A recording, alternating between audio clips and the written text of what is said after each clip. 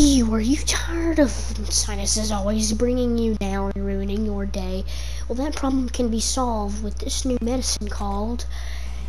Get Good, kid. So just remember that this medicine is very good for your health and can solve all your sinuses problems, but the side effects may include choking, diarrhea, instant death, your veins will burst, your lungs will die,